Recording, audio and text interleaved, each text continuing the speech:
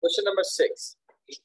Two lamps P and Q are connected to a battery of electromagnetic force EMF 60 volts and an ammeter as shown in figure 6.1.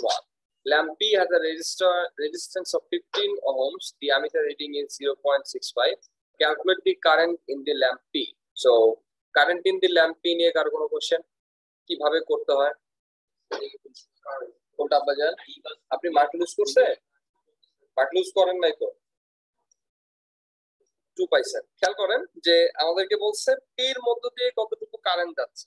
So পির মধ্য দিয়ে current কতটুকু যাচ্ছে, এটার জন্য আমাদেরকে যেটা জানতে হবে পির অ্যাক্রসে ভোল্টেজ কতটুকু পির রেজিস্ট্যান্স কতটুকু।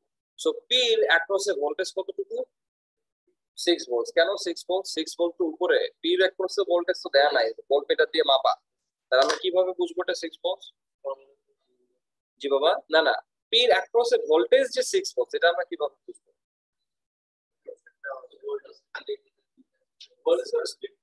ভোল্টেজ হ্যাঁ ভোল্টেজ দুটোতে স্প্লিট হয়ে গেলে থ্রি থ্রি থ্রি থ্রি হওয়ার কথা ছিল, তাই না? প্যারালালে ভোল্টেজ স্প্লিট হয়। প্যারালালে ভোল্টেজ সেম থাকে। প্যারালালে যদি ভোল্টেজ সেম থাকে, তাহলে ভোল্টেজ সিক্স ভোল্ট যেটা, এটা পির অ্যাক্রসেও সিক্স ভোল্ট কিউ এর অ্যাক্রসেও six volt make sense yes তাহলে পির অ্যাক্রসে আপনারা ভোল্টেজ জানেন সিক্স ভোল্ট পির রেজিস্ট্যান্স যদি জানেন তাহলে পির কারেন্ট বের করাটা আপনাদের জন্য সুবিধা হবে। দেখেন তো পির রেজিস্ট্যান্স দেওয়া আছে কিনা? ইয়েস ফিফটিন ওহমস তাহলে আমরা ইকুয়েশনটা সবার আগে লিখব। P equals to VI right equation so আমরা V equals to I R এই ইকুয়েশন বিকজ এখানে আমাদের পাওয়ার জানা right so so I equals to V divided by R V কত? 6 এন্ড আর কত? 15 তাহলে কত আসে আমাদের? 0.4 0.4 সামথিং আপনাদের মার্ক স্কিম বলতেছে, আসতেছি আপনাদের স্কিম বলতেছে 0.40 amps is the correct answer বসে তো 0.40 অ্যাম্পস হবে আপনাদের কারও ক্লারিফিকেশন লাগবে, বুঝেন নাই? 0.04 হ্যাঁ। 0.4 হবে আপনি 0.04 কেন সামনে যেতে হলে কি? 0.004 and 0.04 same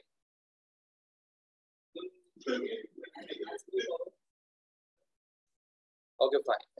I uh, five zero five. Calculate the calculate the resistance of lamp Q. Q এর ল্যাম্প Q এর রেজিস্ট্যান্স বের করতে হবে কীভাবে বের করব আমরা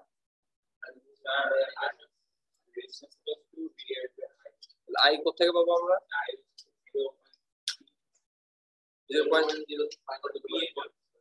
জিরো পয়েন্ট সিক্স ফাইভ তো অ্যামিটার রেডি তাহলে আমরা কি মাইনাস জিরো পয়েন্ট ফোর কেন? কেন এখান থেকে এটা মাইনাস করব? ইয়েস বিকজ অ্যামিটারের মধ্য দিয়ে যে টোটাল কারেন্টটা আসতেছে that is coming from the cell and again it returns to the cell এই সেলটার মধ্য দিয়ে যে কারেন্টটা আসতেছে মনোযোগ দেন তাহলে বুঝবেন। এই সেলটা দিয়ে যে কারেন্টটা আসতেছে এই কারেন্টটা এখানে এসে দুটো রাস্তা দিয়ে ডিভাইড হয়ে যাচ্ছে রাইট একটাতে একটা পোর্শন যাচ্ছে বাকি পোর্শনটা অন্য রাস্তা দিয়ে যাচ্ছে। সো পি দিয়ে কিছু কারেন্ট যাচ্ছে কিউ দিয়ে বাকি কারেন্ট চলে যাচ্ছে রাইট সো অ্যামিটার রিডিং যেটা is the total current coming from the battery right and ammeter থেকে পি তে কতটুকু যাচ্ছে, যেটা একটু আগে আমরা ক্যালকুলেট করে বের করছি জিরো পয়েন্ট ফোর তাহলে পি তে যদি জিরো পয়েন্ট ফোর যায় অ্যামিটার রিডিং হয়, যদি হয় জিরো পয়েন্ট সিক্স ফাইভ তাহলে কিউ এর মধ্য দিয়ে বাকি কারেন্টটুকু যাবে which is zero point six five minus zero point four তাহলে এই কারেন্টটা হচ্ছে জিরো পয়েন্ট টু ফাইভ হচ্ছে কিউ এর মধ্য দিয়ে যতটুকু কারেন্ট যাচ্ছে, এইটার কারেন্ট রাইট তাহলে কিউ এর কারেন্ট যদি আমরা জানি, তাহলে কিউ এর আমার ভোল্টেজ জানতে হবে যদি আমরা রেজিস্ট্যান্স বের করতে চাই। কিউ এর across A voltage again 6 volts because it is again parallel তাহলে আমরা জানি R equals to V divided by I so এই রিঅ্যারেঞ্জমেন্টটা ইম্পর্টেন্ট আমরা আপনার যাদের রিঅ্যারেঞ্জমেন্টের প্রবলেম হয়, সবার আগে মেইন ইকুয়েশনটা লিখবেন V equals to I R যখন V equals to I R লিখে ফেলবেন, তখন আই ইকুয়ালস টু বা R equals to V divided by I আপনি লিখে ফেলবেন সো আপনি ভি জানেন আই এর ভ্যালু জানেন, আপনি জাস্ট ক্যালকুলেট করে বসাবেন, যেই ভ্যালু আসে এটাই। One of the easiest question আমি আপনাদেরকে অ্যান্সারটা বলে দেই। 6 divided by 0.25 which is equals to 24 ohms, yes red pen, yes, i have a red pen কোনটা বুঝুন? ফার্স্ট এটা কোন ফার্স্ট এটা বলতে কোনটা? ফার্স্ট পার্টটা কি বুঝুন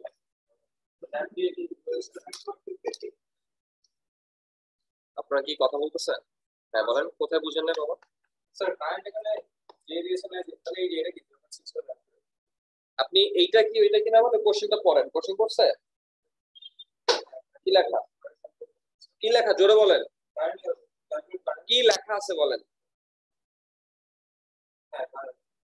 কি লেখা আছে আপনাকে পড়তে বলছি? ক্যালকুলেট দি কারেন্ট লেখা আছে আরও কিছু লেখা আছে?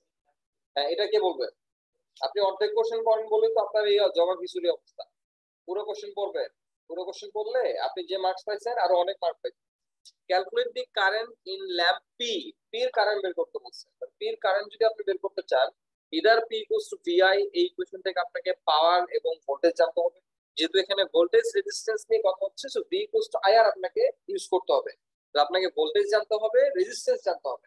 পির ভোল্টেজ আপনি জানেন? জানেন। পির রেজিস্ট্যান্স জানেন? জানেন। তাহলে টু আইআর ইউজ করবেন কারেন্ট বের করবেন। এখানে না বুঝার কি আছে? এটা তো পরের পার্ট আপনি প্রথম পার্টে আপনার কোশ্চেন ছিল আপনার প্রথম পার্ট ক্লিয়ার জি তাহলে আপনি বলবেন আমার সেকেন্ড পার্টে কোশ্চেন আমার এই অ্যামিটার রিডিং নিয়ে হ্যাঁ এটা বলেন যে স্যার আমি অ্যামিটার রিডিংটা বুঝি না এই তো। শেষ। বি স্পেসিফিক আপনার কোশ্চেনও স্পেসিফিক হইতে হবে। আদারওয়াইজ ঝামেলা হইতে হবে। Anyway ammeter reading ammeter reading মানে কি? এখানে কোন কারেন্টটা শো করতেছে অ্যামিটার অ্যামিটারের কাজ কি? অ্যামিটারের কাজ কি বাবা? কারেন্ট শো করবে অ্যামিটার যেখানে লাগাবেন, ওইখানকার কারেন্ট শো করবে তো? অ্যামিটারটা কোথায় লাগানো আছে? কোনটার লেফট এটা ব্যাটারির লেফটে কানেক্টেড বিফোর পিএনপি রাইট তাহলে ব্যাটারি থেকে যে কারেন্টটা আসতেছে, এটা যেদিক যেটা যতটুকু এটা কে শো করবে আর এটা শো করবে। Is that the current of P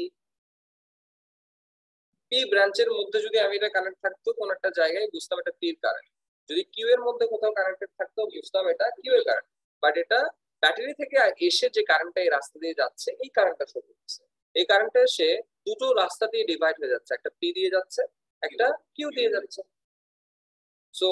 Ammeter reading is zero six five তার মানে কি? টোটাল কারেন্ট হলো zero point six five that is coming and পির কারেন্ট আপনি একটু আগে বের করছেন জিরো পয়েন্ট ফোর তাহলে কিউ এর মধ্যে দিয়ে কতটুকু কারেন্ট যাবে বাকি কারেন্ট বুঝতে পারছেন?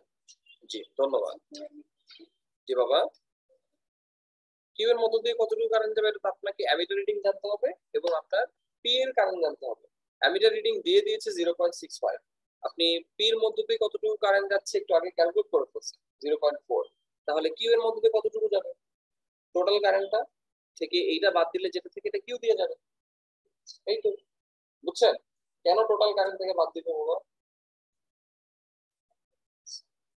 কেন ডিভাইড হয়ে যাচ্ছে?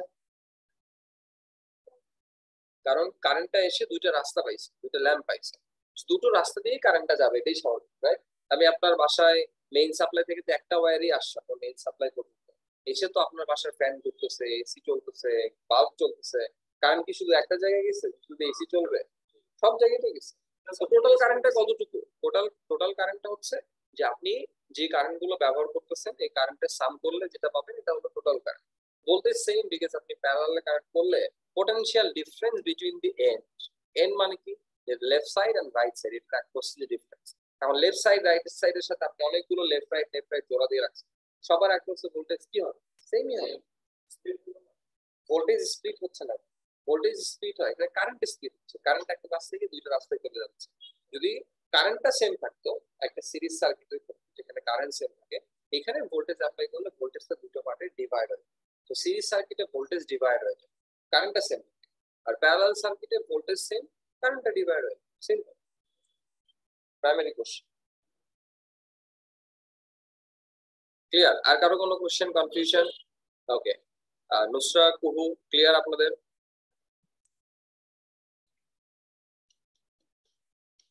Yes, sir. Yes. Number seven. A fuse is one form of protection in an electrical circuit. State two other forms of protection that are included in household electrical circuits. Uh, these may protect the consumer, the circuit, or an electrical appliances. So, আরও দুটো? Right আর তো আর আমরা লিখতে পারি আর কি লিখতে পারি? Fuse তো বলে দিয়েছে। প্লাস্টিক কোডিংটাকে আমরা কি বলি? কি বলি এটাকে আমরা? এটা- এটাকে আমরা কি বলি? প্লাস্টিক কেসিং করছি বাট এটাকে আমরা কি বলি? কি বলি? কি insulation double insulation so metal casing যেখানে থাকে এখানে একটা প্লাস্টিকের লেয়ার তার উপর জুড়ে দেওয়া হয়, যেন এটা মেটাল কেসিংটা কোনো কারণে লাইভ হয়ে গেলে এটা আমাদেরকে শক না দেয়। ফিউজ যে পারপাস ইউজ করা হয় to protect the device and the cable from operating একই পারপাসে সার্কিট ব্রেকার্স ইউজ করা হয়। সো আমরা সার্কিট ব্রেকার্স বলতে পারি, আমরা আর্টওয়ার বলতে পারি, আমরা ডাবল ইনসুলেশন বলতে পারি, দেখি ওরা আমাদেরকে, ওরা কারেক্ট অ্যান্সার লিখছে কিনা সো মার্সকিম কারেক্ট কিনা চেক করে আসি ওরা বলতেছে any two from earthing circuit breaker and double insulation. So Merck scheme permission কেমন দিন তো ধরা গেছে আর আমরা ইউজ করেন কেমন দিন কিন্তু ধরা যাবে করবেন না হ্যাঁ? বাবা মার পকেট থেকে টাকা থাকলে টাকা নিয়ে নেবেন ঠিক আছে। কিন্তু বাবা মা ছাড়া অন্য কারও পকেট থেকে টাকা নিতে হবে ঠিক আছে তাহলে এটা আবার পকেট মার হবে মানুষ ধরে পিটাবে Figure 8.1 shows a fuse box connected to a part of lighting circuit in a house.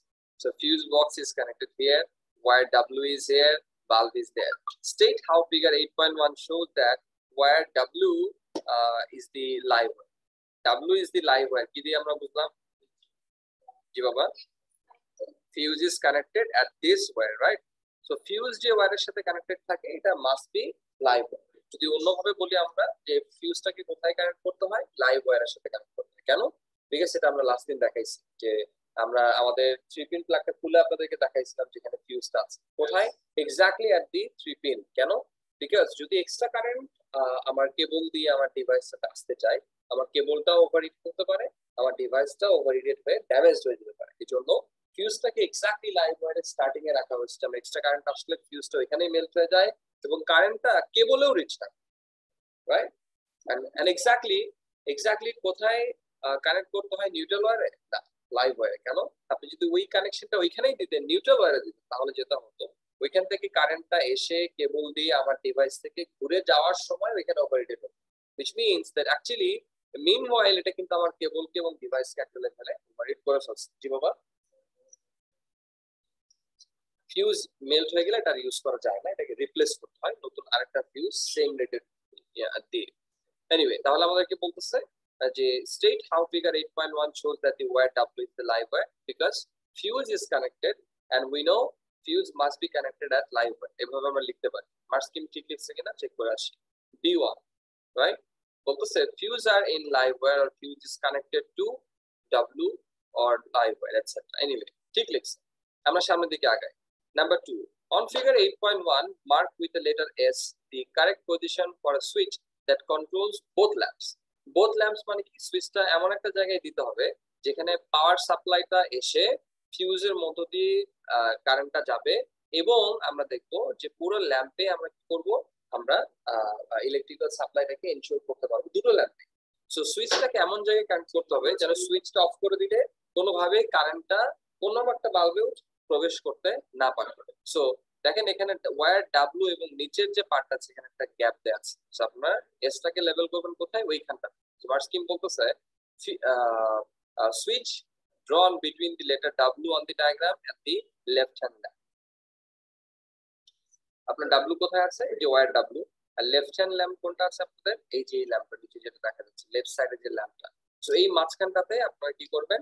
এসটাকে yes ওই যে ফাঁকা দেখা যাচ্ছে না, দুটো ওয়্যার ওইখানে আরও আরও লেফটে যান, আরও আরও লেফটে যান লেফট আপনার লেফট কোনটা বাবা? হ্যাঁ ওই যে দুটো ওয়্যারের মাঝখানে ফাঁকা দেখা যায় না? যে এইখানে আপনি হচ্ছে সুইচটা কানেক্ট করবেন। কেন এখানে সুইচ কানেক্ট করলে দুটো ল্যাম্পকে আমি কন্ট্রোল করতে পারব? ইটস বিকজ খেয়াল করেন, এই মোমেন্টে এই মোমেন্টে আমি যদি চিন্তা করি যে এটা হলো নিউট্রাল ওয়ার এটা হলো আমাদের লাইফ ওয়ার বলুন তো, এই অবস্থায় কোন বাল্বটা গ্লো করবে? সার্কিটটা যেভাবে ড্র করা আছে, এই অবস্থায় if wire W is the live wire if the uh, lower part of the wire is the neutral wire এই কানেকশনে কোন বাল্বটা গ্লো করবে? তিন নাম্বারটা বাল্ব দুইটাই। এখানে তিনটা আপনি যেটা দেখতেছেন this are not bulb this are fuse বাবা। কোন বাল্বটা গ্লো করবে? লেফট বাল্ব আর রাইট বাল্ব বাকিরা রাইট বাল্ব বাকিরা? যারা অনলাইনে জয়েন করেছেন কোনটা গ্লো করবে বাবা? হ্যাঁ? দুইটা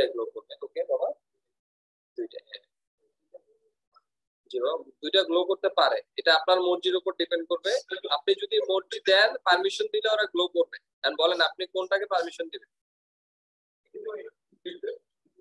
বলেন, বাবা তাজওয়ার, কোনটা বাবা বলেন তো? কোনটাকে আপনি চান গ্লো করবে বলেন? আপনি যেটাতে ইশারা দিবেন, ওইটাই হবে। দুইটাই। আচ্ছা। কেন দুইটাই বাবা? আপনার মনে চাইছে এই জন্য? তাহলে? লাইভ ওয়ার নিউট্রাল সাথে দুটোর সাথেই কানেক্ট ধরেন আপনি সুইচ অফ করে রাখছেন। এখনও তো লাইভ ওয়ার নিউট্রাল সাথে দুইটাই আপনার ফ্যান এসি সব কানেক্টেড সুইচ অফ জি বাবা। সুইচ অন করলে কি চলবে? চলবে না। তাহলে আপনি কি যে সুইচ ড্র করছেন, এখানে কি ফাঁকা দেখা যাচ্ছে? ফাঁকা দেখা যাচ্ছে তো, তাই না? আচ্ছা এখানে বসে। ফাঁকা দেখা যাচ্ছে তো। যদি ফাঁকা দেখা যায়, তাহলে তো এখানে সুইচটা অফ অবস্থায় আছে। যদি সুইচটা অফ অবস্থায় থাকে, তাহলে তো একটা বাল্ব গ্লো করবে।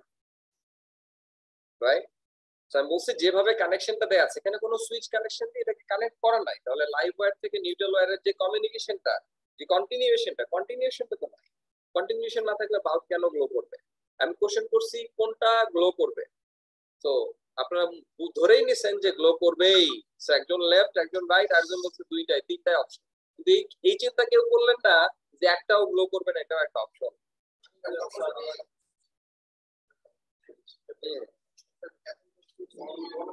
হ্যাঁ এখন যদি সুইচ অন হয়, না সুইচ কানেক্ট করবেন কোথায় এটা বলা আছে। আমি বলছি, যেভাবে ড্র করা আছে অ্যাজ পার ড্রয়িং সো আপনাকে কোশ্চেন খেয়াল করতে আপনি পাশে গিয়ে রেকর্ডিংটা দেখবেন যে স্যার এভাবে বলছে অ্যাজ পার ড্রয়িং কোন বাল্বটা গ্লো করবে?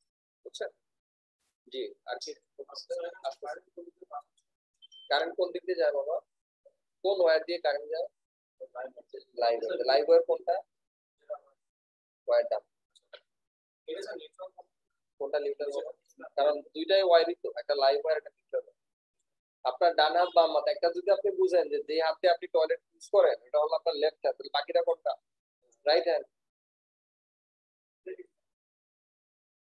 ও তো কনফিউজ হয় তো এই জন্য আসতে আবার বলে নিউট্রাল ওয়্যার কেন। In generally doesn't have current যখন আপনি সুইচ অন করবেন, তখন এটা লাইভ ইন জেনারেল এটা নিউট্রাল কাজ হচ্ছে কারেন্ট ক্যারি করে নিয়ে আসা। না কাজ হচ্ছে রাস্তাটাকে কমপ্লিট করে। ইভেন ধরেন ফ্যানের সুইচ অফ অবস্থায় আপনি যদি এখানে হাত দিয়ে টাচ করেন ব্ল্যাক হোয়াইট যেটা ব্ল্যাক হোয়াইট থাকে ইঞ্জেল আপনি শর্ট পাবেন। বাসায় গিয়ে পর টাচ কর টাচ করার আগে এই যে টেস্টার দিয়ে টেস্ট করে নিন বিকজ আপনি যদি নিজেকে টেস্টার বানান টাচ করে দেখি তো যে আমি এরকম আমার আমি লাইভ হয়ে যাই কিনা। আচ্ছা ঠিক আছে নিউট্রালের মধ্যে কোনো ফল্ট আছে? অথবা যে টেকনিশিয়ান এটা কানেকশনটা দিয়েছে, সে লাল এবং কালোর মর্মার্থ বুঝে নেয় এটার ইম্পর্টেন্স বুঝে নেয় কালারের ইয়াস সাদিকা, বলেন। দুইটাই গ্লো কেন?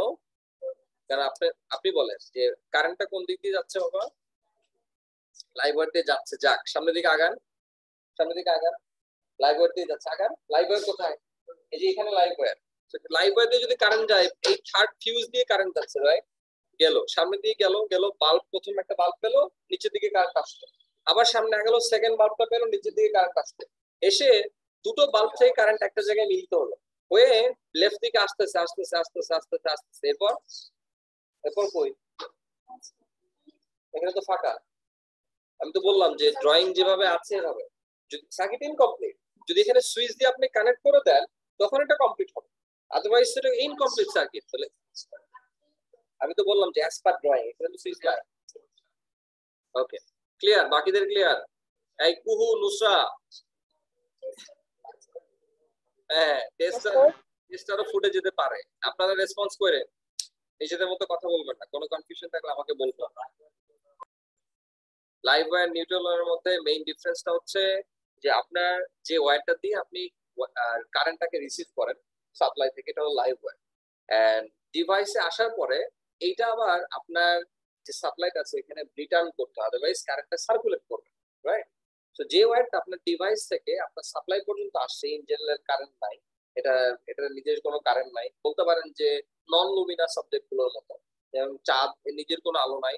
যখন রাতের বেলা সূর্য থেকে চাঁদের উপর আলো পড়ে, ওইটার রিফ্লেকশনটা আমরা দেখতে পাই। ঠিক তেমনি নিউট্রাল ওয়ারের নিজের কোনো কারেন্ট নাই। যখন লাইভ ওয়্যার দিয়ে সুইচটা অন থাকে, এই সার্কিটটা কমপ্লিট করলে তখন এটা লাইভ হতে পারে। এই জন্য এটাকে বলা হয় নিউট্রাল নিজের কোনো কারেন্ট বুঝছেন? যেমন আপনারা সবাই এইবার সামনে ঈদ আসতেছে, রোজা নিয়ে কতটুকু কার প্ল্যান আছে জানি না। কিন্তু ঈদের শপিং কে কি করবেন? অনেক প্ল্যান আছে। এটা করবেন, ওটা করবেন। কারণ কার টাকা দিয়ে করবেন। আপনারা হলে গিয়ে টাকা ইনকামের দিক দিয়ে নিউট্রাল মানে আপনারা শুধু খরচ করবেন।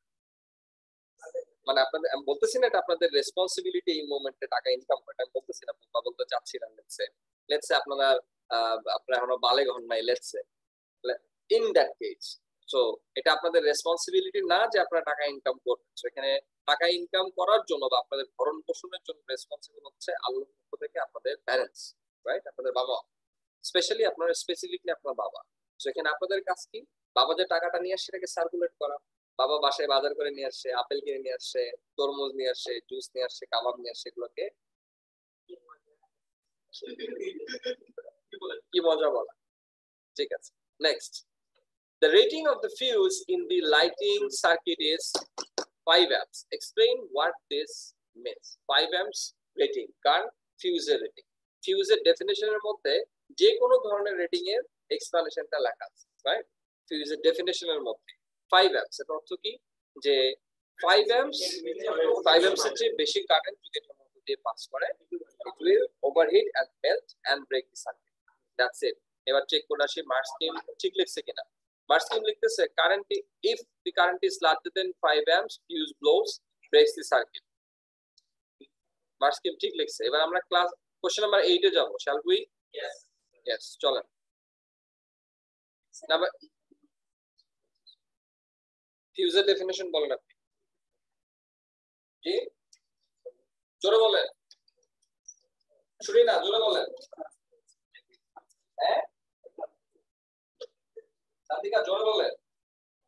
What is the of fuse যদি অফ ফিউজ বুঝেন? হ্যাঁ কীভাবে কাজ করে ফিউজ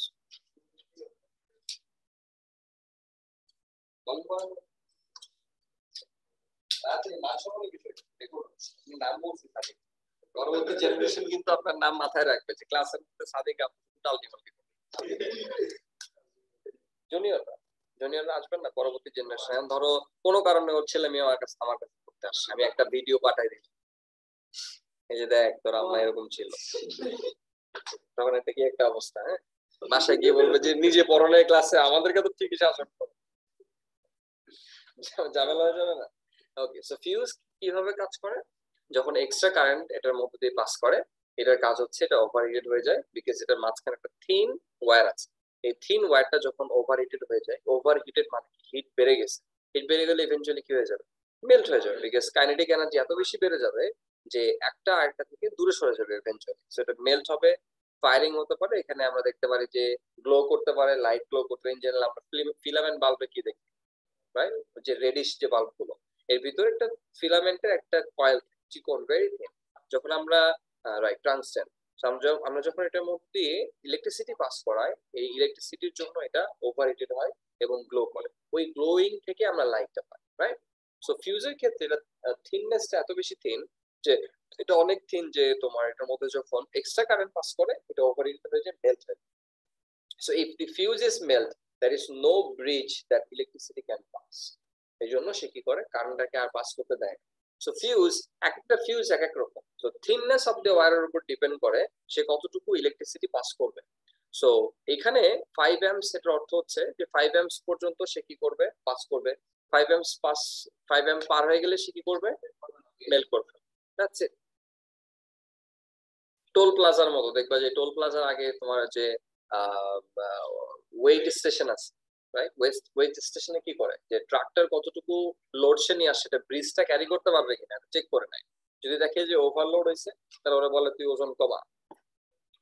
ইউনুস আল্লাহ সাল্লাম যখন তোমার তার জাতির ওপর একটু হতাশ হয়ে সমুদ্রের মধ্যে ইয়া নিয়ে বের হয়ে গেছিলেন, জাহাজ নিয়ে, যে এলাকায় থাকব, যে লোকগুলা খারাপ।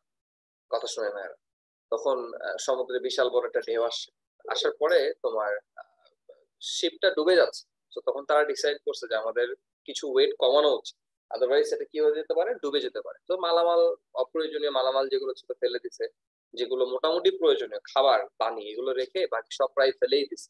এরপরও কমতেছে। তখন তারা বুঝছে যে আমরা আর এখন মানুষ ফেলে দিতে হবে।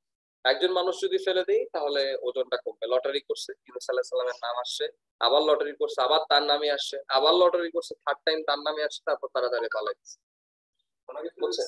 হ্যাঁ ওনাকে ফেলেছে এরপর তারা মাছটা খে- খেয়েছিল আর কি। সো এটা হচ্ছে কি যখন ওভারলোডেড হয়ে যায় তখন এই সিনারিও গুলো হয় তো যখন আপনার এখানে ওভারলোড হয় তখন এই ঘটনাগুলো ঘটে।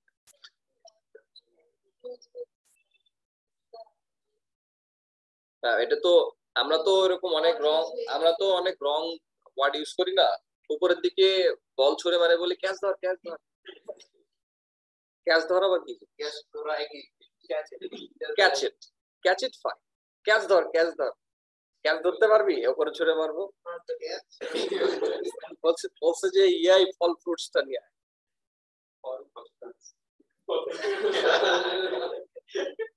ফল ফ্রুটস খান বেশি বেশি করে। এই সময়টাতে বেশি বেশি ফল ফ্রুটস খেতে হয়। ইত্যাদি ইত্যাদি গতকাল এক জায়গায় এক জায়গায় ইফতার করতেছিলাম এখানে একজন বলতেছে ফল ফ্রুটস দেন। তো আমি বলি, হ্যাঁ দেন। টেস্ট করে স্বাদ নিক কেমন হয়েছে। ওকে ওকে ঠিক আছে, এরকম হয় হ্যাঁ এরকম রিপিটেশন আমরা করি। অনেক ওয়ার্ড আছে, এগুলো তো একটা মিনিং আছে, অনেক ওয়ার্ড আছে, এগুলো মিনিং নাই। চা, একটু চাটা খেয়ে আসি। লাইক এটা এটা হচ্ছে যে ইউজ টু মানে people are use to to use this word anyway eight nine ten আমাদের তিনটা বাকি আছে, আমরা শুরু করি। নাম্বার এইট ক্লাস সেভেন পর্যন্ত আপনারা পাস করছেন, এবার ক্লাস এইটে আছে ধরে নেন এরকম।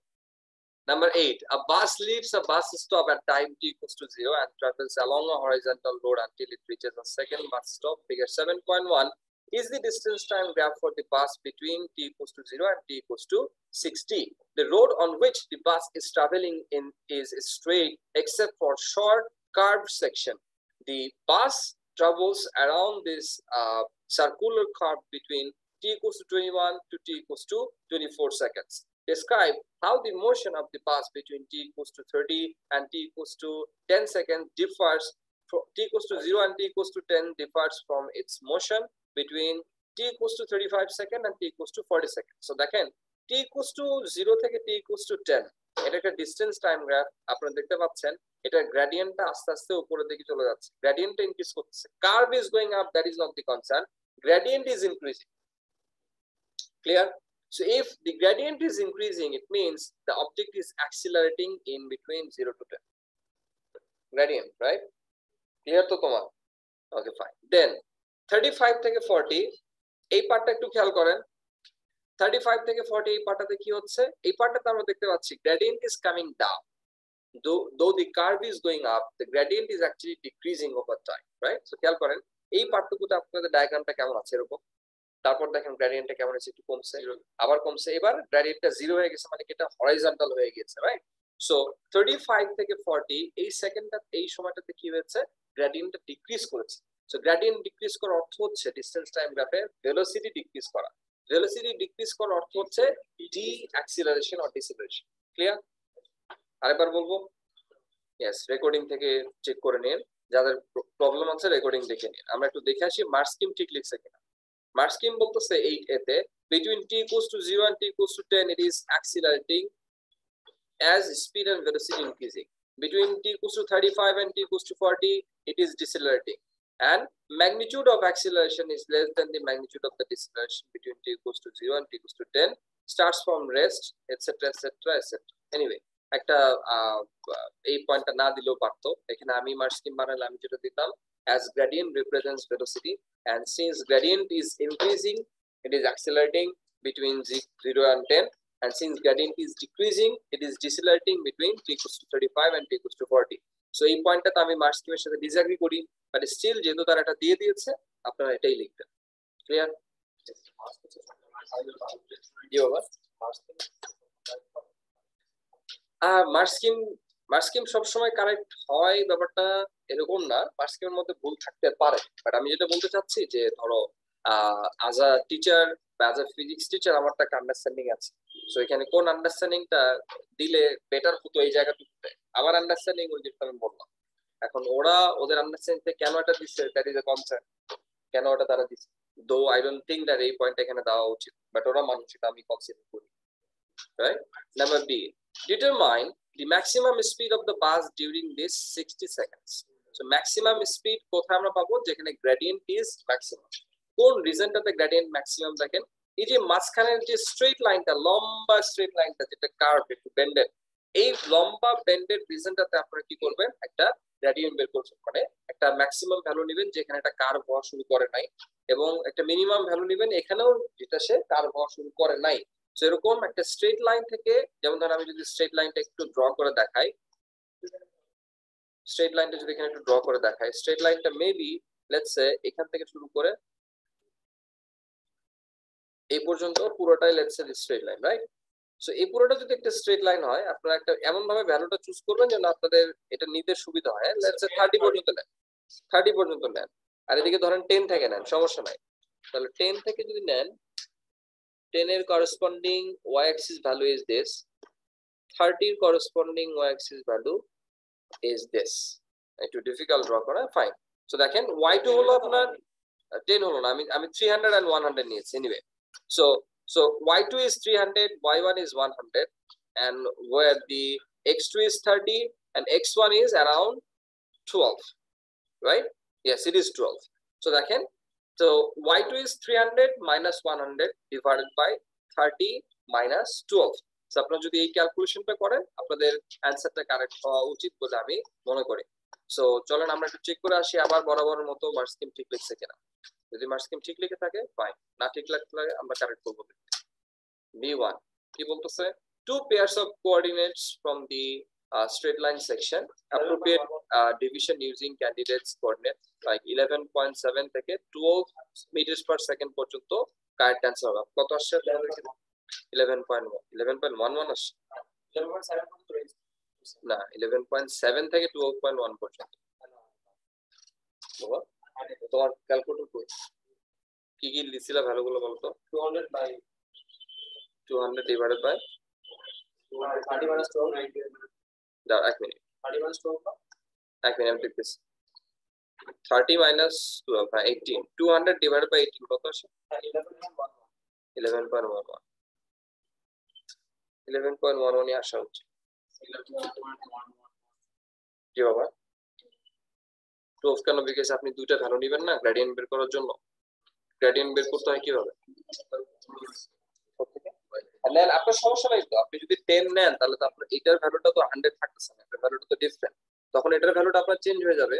Y2 এর ভ্যালু 300 y1 এর ভ্যালু আপনার হয়ে যাচ্ছে তখন অ্যারাউন্ড 60 আপনি তখন 60 নেবেন so 300 minus 60 divide by 30 minus 12 এবার কত 300 minus 60 which is 240 divided by 20 কত আসে? 12 এরকম হওয়ার কথা না। ভ্যালুগুলোর, তার মানে আমরা মেবি গ্রাফের একটা স্ট্রেট লাইন এনিওয়ে ভ্যালু এরকম ডিফারেন্ট হওয়ার কথা না। একটা ইলেভেন পয়েন্ট ওয়ান ফাইভ আর সাথে। ঠিক আছে ইলেভেন পয়েন্ট ওয়ান ফাইভ ঠিক আছে। Okay okay fine so whatever the value is important correct answer is not the important thing ইয়ার আমাদের আমাদের মূল আলোচনার বিষয় হচ্ছে আমাদের আন্ডারস্ট্যান্ডিং ঠিক আছে কিনা? সো আন্ডারস্ট্যান্ডিং কীভাবে কোনটা কারেক্ট এটা আমাদের ক্লিয়ার যে আমাদের এখানে গ্রেডিয়েন্ট বের করতে হবে। কোন পার্টটাতে স্ট্রেট সেকশনটাতে কেন স্ট্রেট সেকশনটাতে বিকজ এখানে গ্রেডিয়েন্ট হবে ম্যাক্সিমাম সো যেখানে গ্রেডিয়েন্ট ম্যাক্সিমাম এখানে ভেলোসিটি ইজ ম্যাক্সিমাম কেন? বিকজ ডিস্টেন্স এন্ড টাইম গ্রাফে গ্রেডিয়েন্ট যদি আমরা বের করি, আমরা কি পাই? ভেলোসিটি পাই। নেক্সট নেক্সট বলতেছে the average speed of the bus between uh, leaving the first bus stop and arriving at the second bus stop so average speed কিভাবে বের করব total distance by total time total distance কতটুকু 390 meters and total time is 39 or 40 divide করলে আসবে 9.7 থেকে আহ, 10 meters per second এই রেঞ্জের মধ্যে একটা ভ্যালু আসবে clear state how velocity differs from speed velocity আর একটু স্পেসিফিকলি বললে velocity has no direction direction Ah, direction and speed doesn't have a direction doesn't have any direction thereby velocity is a vector quantity and and uh, speed is a scalar quantity so ওরা mark স্কিমে কি লিখছে check করে আসি ঠিক লিখছে কিনা বলতেছে velocity has a direction is a vector quantity uh, depends on displacement rather than distance fine লিখতে পারি আমরা so প্রথম দুটো আমরা লিখেছি already okay next number C two There are three periods during the 60 seconds uh, when there is a non-zero resultant force acting on the bus. Complete the uh, stu- statement uh, to indicate these three times periods and state the direction of the resultant force in that period. খেয়াল করেন, এখানে তিনটা সেগমেন্টে আমাদের গ্রাফটাকে আমরা যদি differentiate করি, যেখানে আমাদের স্পিড টাইমটা অ্যাকচুয়ালি ভ্যারি করেছে। একটাতে ইনিশিয়ালি অ্যাক্সেলারেশন তারপর একটা কনস্ট্যান্ট গ্রেডিয়েন্ট তারপর আমরা দেখতে পাচ্ছি জিরো গ্রেডিয়েন্ট সো তিনটা সেগমেন্টটাকে আমাকে সুন্দর করে আলাদা করার জন্য মার্সকিম ওরা এইভাবেই নিয়ে আসে। Between zero and ten seconds কেন? জিরো অ্যান্ড টেন সেকেন্ডস তার অ্যাক্সেলারেশন হচ্ছে। হওয়ার পরে কিন্তু তার অ্যাক্সেলারেশন বন্ধ হয়ে যাচ্ছে। বিকজ এরপরে গ্রেডিয়েন্ট কনস্ট্যান্ট মানে কি? ভেলোসিটি কনস্ট্যান্ট ভেলোসিটি কনস্ট্যান্ট অর্থ কি নো অ্যাক্সেলারেশন রাইট সো এখানে জিরো অ্যাক্সেলারেশন এটা আমাদেরকে মেনশন করতে হবে। জিরো অ্যাক্সেলারেশন মানে কি? কোনো রেজাল্টেন্ট ফোর্স এখানে নাই। ইনিশিয়ালি অ্যাক্সেলারেশন মানে কি? ম্যাক্সিমাম রেজাল্টেন্ট ফোর্স তারপর ডিসিলারেশন অর্থ কি? Resultant force but in a opposite direction এটি ওর এখানে নিয়ে খেয়াল করেন। Between 0 and 10 seconds, there is a forward direction movement, right? Or acceleration between 21 to 24 seconds uh, the perpendicular to the motion to the direction of the movement and lastly 35 to 40 seconds backward or opposite to the direction of the movement অর্থাৎ যে resultant ফোর্সের যে ডিরেকশনটা এবং কোন সময়টাতে এটা কাজ করছে সেটা কিন্তু আমাদেরকে মেনশন করতে বলছে আমরা কোশ্চেনটা আরেকবার একটু বলে ফেলি there are three periods during the 60 seconds when there is a non-zero resultant force acting on the bus non-zero resultant force তার মানে কোনটা it's not about zero resultant force non-zero resultant force the non-zero resultant force কিন্তু কাজ করতেছে এই তিনটা সেগমেন্টের মধ্যে from the uh, straight line section যেখানে আমরা কি বের করতেছি যেখানে জিরো রেজাল্টেন্ট ফোর্স রয়েছে বলে দিয়েছে জিরো রেজাল্টেন্ট ফোর্স আপনারা মেনশন করবেন না নন জিরো বলতে হবে আচ্ছা নন জিরোর মধ্যে কি কি মেনশন করতে হবে complete the statement to indicate these three time periods and state the direction of the resultant force on that period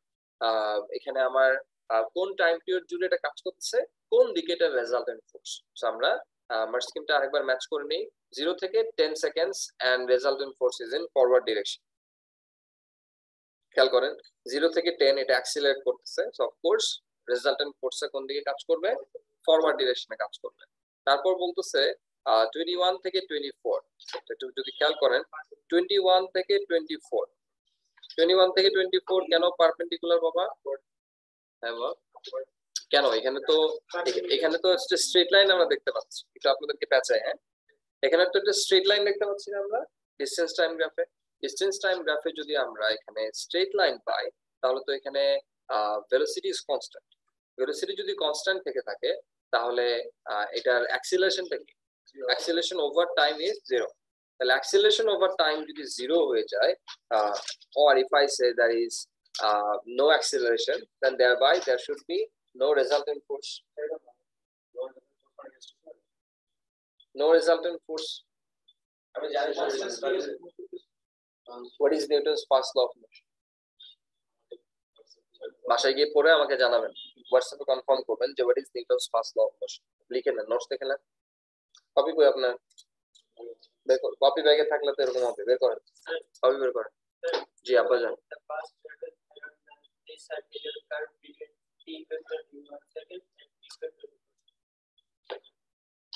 এখানে সে সার্কুলার প্যাথে ট্রাভেল করতেছে। ওকে ফাইন তাহলে সার্কুলার প্যাথে ট্রাভেল করলে এখানে ইয়াতে ইস্যুটা কোথায়? ইটস ভেরি গুড পয়েন্ট খেয়াল করেন এই পয়েন্টটা যদি কেউ ইগনোর করে that is the answer actually what I asked so the question was যে এখানে তো আমরা একটা স্ট্রেট লাইন দেখতে পাচ্ছি। তার মানে কি? তার ডিস্টেন্স এগেইনস্ট টাইম যে ট্রাভেলের কার্ভটা the gradient is constant gradient constant অর্থ হচ্ছে velocity constant so acceleration is zero acceleration zero মানে কি? Resultant force should be zero but এখানে তারা মার্স স্কিমে বলতেছে নন জিরো সেগমেন্টের জন্য টোয়েন্টি ওয়ান থেকে টোয়েন্টি ফোর সেকেন্ডকে সে চুজ করেছে। এখন আপনাকে জিজ্ঞেস করলাম, আসতেছি ওয়েট করেন। আমি যখন আপনাদেরকে জিজ্ঞেস করেছি, কেন টোয়েন্টি ওয়ান থেকে টোয়েন্টি ফোর সেকেন্ডে এখানে অ্যাকচুয়ালি একটা নন জিরো রেজাল্টেন্ট ফোর্স আছে, যেটা তার মার্ক স্কিমে মেনশন করতেছে? সেটা আমরা কি দিয়ে বুঝব? এটা অ্যাকচুয়ালি একটা ক্লুটা দেয়া আছে ফিগার সেভেন পয়েন্ট ওয়ানের নিচে। পড়ে ফেলেন। The road on which the bus is travelling is straight পুরোটা স্ট্রেট রাস্তা